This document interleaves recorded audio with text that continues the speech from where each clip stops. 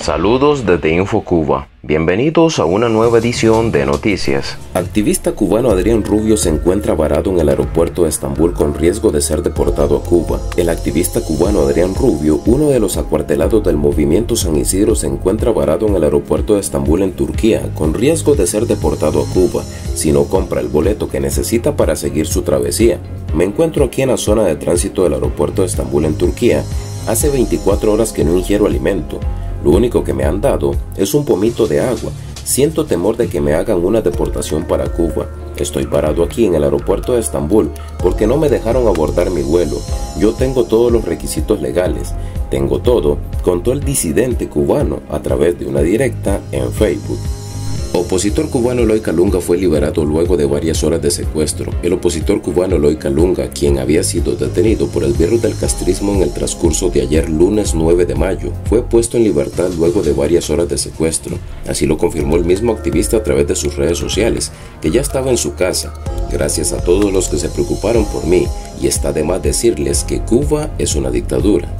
El castrismo alerta sobre la posible llegada a Cuba de la hepatitis aguda infantil. Por si fuera poco, el hambre y la miseria impuesta por el régimen, la tragedia acontecida en el Hotel Saratoga el pasado viernes, el indetenible azote del coronavirus en Cuba, el castrismo ahora alertó sobre la eventual llegada de la hepatitis aguda infantil a la isla. Ameli Ramos, tras detención de Ángel Cusa, grabar un suceso no puede ser motivo de delito. La curadora de arte y activista cubana Ameli Ramos rechazó a través de sus redes sociales la detención de Ángel Cusa, quien fue arrestado luego de grabar la explosión en el Hotel Saratoga de La Habana. Grabar un suceso que está ocurriendo no puede ser motivo de delito. ¿Qué les pasa a esta gente? Escribió Ramos en su perfil de Facebook. Senadora de México arremete contra López Obrador por su complicidad con el régimen castrista. La senadora del Congreso de la Unión de México Alejandra Noemi Reynoso Sánchez escribió en su cuenta de Twitter una crítica contra el presidente de su país Andrés Manuel López Obrador por su complicidad con el régimen de Cuba. Su visita a la dictadura cubana y su reunión con Raúl Castro no me incomodan.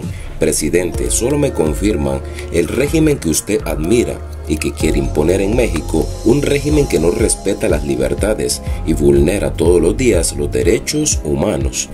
Preso político del 11 de julio sufre pérdida de su visión en la cárcel y el régimen no le concede atención médica. El preso político del 11 de julio Alexis Borges Wilson, actualmente secuestrado por el régimen castrista en la prisión del Combinado del Este en Habana, informó recientemente que lleva varios meses padeciendo de pérdida de su visión y ni siquiera ha recibido atención médica dentro del recinto penitenciario. Borges Wilson contó que desde el primer momento que empezaron los síntomas había hecho una petición a las autoridades del régimen castrista de recibir atención médica especializada de un oftalmólogo de la cual ni siquiera ha recibido una respuesta. Asimismo, el preso político subrayó que la pérdida de su visión va de forma progresiva y acelerada, lo que quiere decir que a medida que transcurren los días, la visión del hombre se va complicando más y más. Ciberclaria castrista que defiende al régimen y vive en Nueva York es expuesto en la calle. El ciberclaria castrista que se hace llamar 100% fidel en las redes sociales fue expuesto en la calle por un cubano libre que lo reconoció en el estado de Nueva York. Desde hace un mes, el ciberclaria fue descubierto viviendo en uno de los estados más ricos de Estados Unidos, como lo es el estado de Nueva York, gozando de la libertad de las bondades del capitalismo. El castrista fue enfrentado por otro cubano, Juan Carlos Herrera Costa, expreso político del castrismo, que lo reconoció llegando a su casa y sin dudarlo le preguntó que qué hacía viviendo en Estados Unidos si defiende tanto el comunismo. Estados Unidos sobre escarcelación de Joan de la Cruz. Cualquier castigo es injusto. La Embajada de los Estados Unidos en Cuba afirmó que es injusto cualquier castigo contra los manifestantes de julio del 2021, tras el anuncio de la escarcelación del preso político Joan de la Cruz, cuya sentencia fue modificada a cinco años de privación de libertad sin internamiento. Encuentran cadáver de cubano desaparecido durante cruce de noche por el río Bravo. Tras insistentes horas de búsqueda fue hallado el cuerpo sin vida del cubano que había desaparecido durante el cruce de noche hacia Estados Unidos por el río Bravo.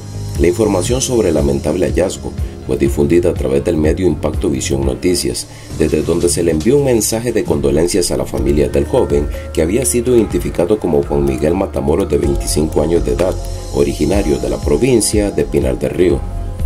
Florida decreta el 7 de noviembre como Día de las Víctimas del Comunismo. El gobernador de Florida, Ron DeSantis, decretó el 7 de noviembre como Día de las Víctimas del Comunismo, una iniciativa que llama a las escuelas públicas a conmemorar dicha fecha.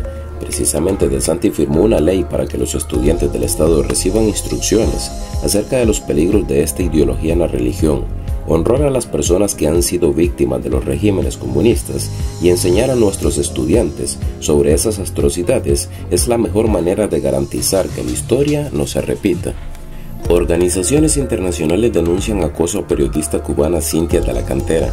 Las organizaciones internacionales Human Rights Watch y Artículo 19 denunciaron el acoso en Cuba a la periodista independiente Cintia de la Cantera, quien expuso las presiones de agentes de la seguridad del Estado para que deje de informar. Juan Papier, investigador principal de la División para las Américas, HRW, expresó en Twitter preocupación por estas graves denuncias de intimidaciones en contra de la periodista cubana Cintia de la Cantera. Exigimos que el régimen cubano cese los abusos contra periodistas independientes en el país. Los cubanos tienen derecho a informarse, agregó Papier. Trasladan de cárcel a preso político del 11 de julio y su familia desconoce su paradero. Autoridades del régimen castrista trasladaron de cárcel el pasado fin de semana al preso político del 11 de julio Roberto Pérez Fonseca y su familia denuncia no saber dónde se encuentra en este momento. Así lo expresó a través de las redes sociales su hermano indicando haberse enterado de esta situación luego de recibir una llamada de su madre, quien le afirma que el preso político había sido movido de penal desde el pasado sábado. Un par de días han pasado desde entonces y aún ni la señora ni sus allegados conocen el paradero de la víctima, una situación que se ha hecho recurrente en la isla con otros secuestrados por la dictadura.